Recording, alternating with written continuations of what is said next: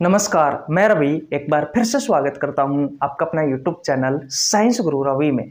Guys इस video में मैं आपको पढ़ाने वाला हूँ मिक्स्ड ग्लैंड के बारे में, अर्थात मिश्रित ग्रंथि के बारे में। तो सबसे पहले आप हेडिंग लगा लीजिए मिक्स्ड ग्लैंड अर्थात मिश्रित ग्रंथि।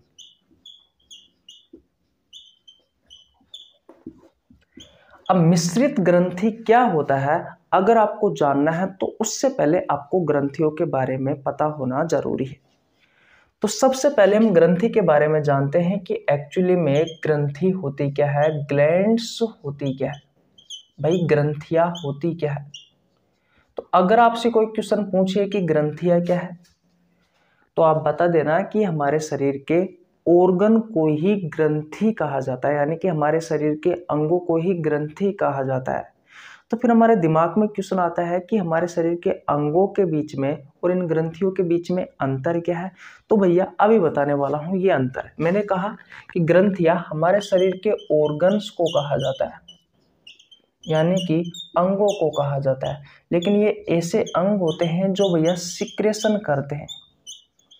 ये श्राव करते हैं, श्रावण करते हैं। किस चीज़ का? ये करते हैं भैया केमिकल कंपाउंड का। केमिकल कंपाउंड का, यानी कि रासायनिक यौगिकों का। ये रासायनिक यौगिकों का श्राव करते हैं। तो आपके शरीर का ऐसा कोई अंग या उत्तकों का समूह है, जो सिक्रेशन करता हो किसका? इन केमिकल कंपाउंड का। और ये केमिकल कंपाउंड क्या क्या हो सकता है? तो ये जूस हो सकता है, ये एंजाइम हो सकता है और ये हार्मोन हो सकता है।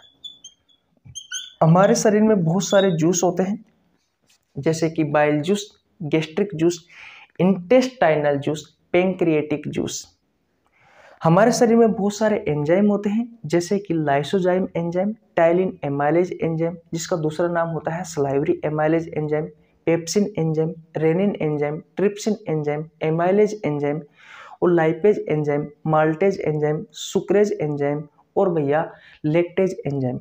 ऐसे बहुत सारे एंजाइम होते हैं।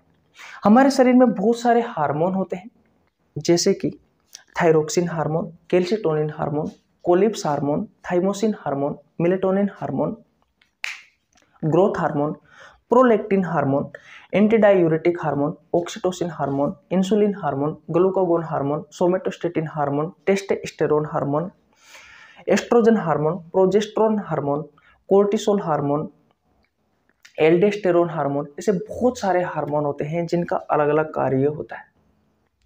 और जूस एंजाइम और ये जो हार्मोन है, ये भैया केमिकल कंपाउंड है।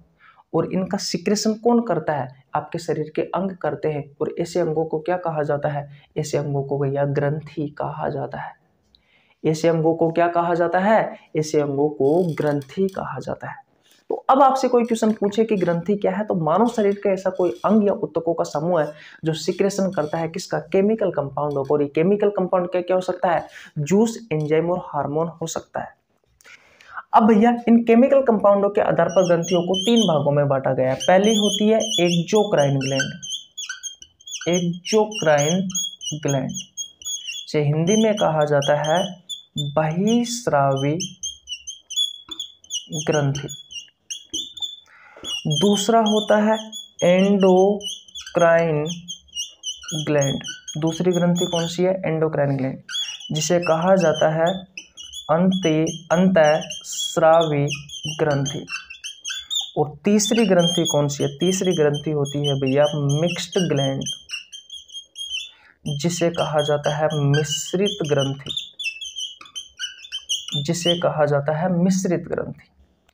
आइए इन तीनों के बारे में हल्की फुल्की जानकारी ले लेते हैं, क्योंकि हमें तो इस वीडियो में किसके बारे में बताना है? मिक्स्ड ग्लैंड, यानी कि मिश्रित ग्रंथि के बारे में आपको पढ़ना है। तो जो जूस और जो एंजाइम का निर्माण करे, वो होती है एक्जोक्राइन ग्लैंड। वो होती है भैया एक्जोक्राइन ग्लैंड। और जो हार्मोन का निर्माण करे, वो होती है एंडोक्राइन ग्लैंड। वो होती है भैया एंडोक्राइन ग्लैंड। जो हार्मोन का निर्माण करे, वो होती है एंडोक्राइन ग्लैंड। और जो जूस और एंजाइम का निर्माण करे, वो होती है एक्जोक्राइन ग्लैंड। और मिश्रित ग्रंथि, ऐसी ग्रंथि होती है भैया, जो जूस का भी निर्माण करती है, एंजाइम का भी निर्माण करती है और हार्मोन का भी निर्माण करती है। वो होती है भैया मिक्स्ड ग्लैंड। वो होती है मिक्स्ड ग्लैंड। तो अगर आपसे कोई क्वेश्चन पूछे कि ऐसी कौन सी ग्रंथि है जो अंत्यस्रावी ग्रंथि और बहिस्रावी ग्रंथि दोनों की तरह ही व्यवहार करती है? तो ऐसी ग्रंथि को कहा जाता है मिक्स्ड ग्लैंड, यानी कि मिश्रित ग्रंथि। और आपके शरीर की एकमात्र मिश्रित ग्रंथि है, वो है भैया पेंक्रियाज। पेंक्रियाज यानी कि अग्नाशय ग्रंथि। और अग्नाशय ग्रंथि के बारे में अगर आपको डिटेल में पढ़ना है अगर आपको अग्नाशय ग्रंथि के बारे में डिटेल में पढ़ना है तो आपको नीचे लिंक डिस्क्रिप्शन में मिल जाएगा भैया। पेंक्रियाज का, वहाँ से जाकर आप चेकआउट कर सकते हैं कि भैया कौन कौन से हार्मोन बनाती है कौन कौन सा जूस बनाती है, इस जूस में कौन सा एंजाइम उपस्थित तो होता है। मैं आपको बता दूँ, ये जो पेंक्रियाज है, ये पेंक्रिएटिक जूस का निर्माण करती है। इस पेंक्रिएटिक जूस में कुछ एंजाइम होते हैं जो भोजन के पाचन में सहायक होते हैं। कौन कौन से एंजाइम होते हैं? तो एमाइलेज एंजाइम होता है ट्रिप्सिन एंजाइम होता है, और लाइपेज एंजाइम होता है। इतनी बात क्लियर है? इस पेंक्रिया से निकलने वाले पेंक्रिएटिक जूस को पूर्ण पाचक रस भी कहा जाता है, क्योंकि भैया ये जो रस होता है, इससे निकलने वाले जो एंजाइम होते हैं, वो कार्बोहाइड्रेट प्रोटीन और वसा के पाचन में सहायक होते हैं, इसलिए इस पेंक्रिया से निकलने वाला जो पेंक्रिएटिक जूस है, जो पेंक्रिएटिक जूस है, इस पेंक्रिएटिक जूस को पूर्ण पाचक रस कहा जाता है। इस अग्नाशय रस को पूर्ण पाचक रस कहा जाता है। इतनी बात क्लियर है? किसी को कोई प्रॉब्लम यहाँ तक बिल्कुल भी नहीं होनी चाहिए। तो अब आपसे अगर कोई क्वेश्चन पूछे कि मिश्रित ग्रंथि क्या है तो मिश्रित ग्रंथि ऐसी ग्रंथि होती है जो जूस एंजाइम और हार्मोन तीनों का निर्माण करती है। और हमारे शरीर की एकमात्र मिश्रित ग्रंथि कौन सी है? अग्नाशय ग्रंथि है भैया। इतनी बात क्लियर है? और इस अग्नाशय ग्रंथि की एप सेल से पेंक्रेटिक जूस का निर्माण होता है। इस पेंक्रेटिक जूस में एमाइलेज ट्रिप्सिन और लाइपेज एंजाइम पाया जाता है। लेकिन एल्फा, बीटा और डेल्टा सेल, इस पेंक्रियाज में चार प्रकार की कोशिका पाई जाती है। एल्फा सेल, बीटा सेल और डेल्टा सेल और एप सेल। एप सेल से ये पेंक्रेटिक जूस का निर्माण होता है, इसका, अग्नाशय रस का। और इस अग्नाशय रस में अग्नाशय एंजाइम पाए जाते हैं। यानी कि इस अग्नाशय रस में एंजाइम पाए जाते हैं। कौन कौन सा? एमाइलेज ट्रिप्सिन और लाइपेज एल्फा सेल से कौन सा हार्मोन निकलता है? तो ग्लूकागोन हार्मोन निकलता है। बीटा सेल से कौन सा हार्मोन निकलता है? तो इंसुलिन हार्मोन निकलता है। डेल्टा सेल से कौन सा हार्मोन निकलता है? सोमेटोस्टेटिन हार्मोन निकलता है। इतनी बात क्लियर है? अगर आपको इन सभी के बारे में डिटेल में जानना है कि भैया ये हार्मोन क्या काम करते हैं और ये एंजाइम क्या काम करते हैं तो आपको पेंक्रियाज के बारे में फुल डिटेल में वीडियो नीचे डिस्क्रिप्शन में, लिंक डिस्क्रिप्शन में मिल जाएगा तो वहाँ जाकर पढ़ सकते हो।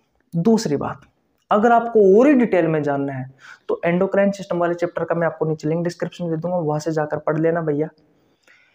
यानी कि पेंक्रिया से कौन कौन से हार्मोन निकलते हैं, वह तो भैया इस एंडोक्राइन सिस्टम वाले चैप्टर मैंने आपको पढ़ा रखा है। और इस पेंक्रियाज से कौन कौन से एंजाइम निकलते हैं, यानी कि इस पेंक्रियाज में पेंक्रेटिक जूस निकलता है, इस पेंक्रिया से पेंक्रेटिक जूस का सिक्रेशन होता है और इस पेंक्रेटिक जूस में कौन कौन से एंजाइम होते हैं और उन एंजाइमों का कार्य क्या है, ये आपको पाचन तंत्र वाले चैप्टर में पढ़ना पड़ेगा। तो मैंने पाचन तंत्र वाला चैप्टर पढ़ा रखा है और एंडोक्राइन सिस्टम यानी कि अंतस्रावी तंत्र वाला चैप्टर पढ़ा रखा है। दोनों चैप्टरों का नीचे लिंक डिस्क्रिप्शन मिल जाएगा, वहाँ से जाकर चेकआउट कर सकते हैं। और रही बात बेटा एक्जोक्राइन ग्लैंड की और एंडोक्राइन ग्लैंड की। तो पिछली दो क्लासों में मैंने आपको एक्जोक्राइन ग्लैंड और एंडोक्राइन ग्लैंडों के बारे में अच्छे से बता दिया है। पार्ट वन इसका एंडोक्राइन ग्लैंड था, सेकंड पार्ट था एक्जोक्राइन ग्लैंड और ये थर्ड पार्ट है भैया मिक्स्ड ग्लैंड का। तो आशा करता हूँ ये चीज़ें आपको समझ में आ गई होगी। मिश्रित ग्रंथि के बारे में तो आज यहीं तक रखते हैं। अगर आपको वीडियो अच्छी लगी हो तो वीडियो को लाइक कर दीजिए। चैनल पर नया तो चैनल को सब्सक्राइब कर लेना वेल आइकन को प्रेस कर लेना ताकि आपके पास हमारी वीडियो का नोटिफिकेशन टाइम टू टाइम पहुँच सके। मिलते हैं नेक्स्ट वीडियो में, तब तक के लिए जय हिंद, जय भारत, राम राम।